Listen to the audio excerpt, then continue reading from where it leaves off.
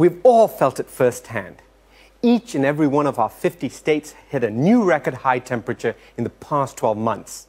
If you were born after 1985, you've never known what normal is because the last 326 months have been consistently warmer than the 20th century global average.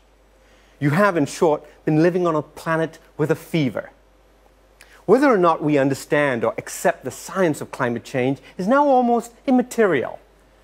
We're no longer talking about change to our planet at some distant time or in some faraway place, but change that is happening right here, right now, in our own backyards. In Texas, after enduring months of drought, many ranchers are simply getting out. They're quietly sending their cattle north. Over a million head of cattle have been sent out of the state. They've been trucked to greener, wetter, cooler pastures in northern states like Montana and Nebraska. These cows won't be back. In our cities, often heat traps in the summer, the vulnerable and the elderly suffer the most.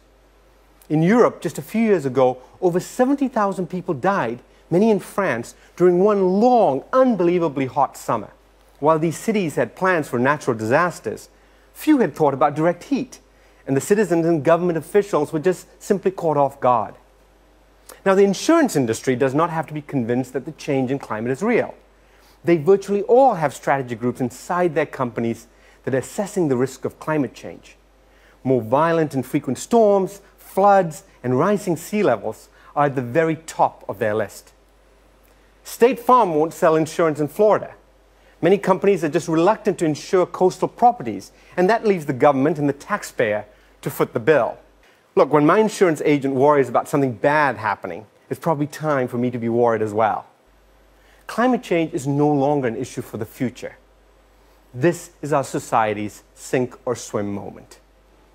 And commentary tonight from our science and environment contributor, M. Sanjayan.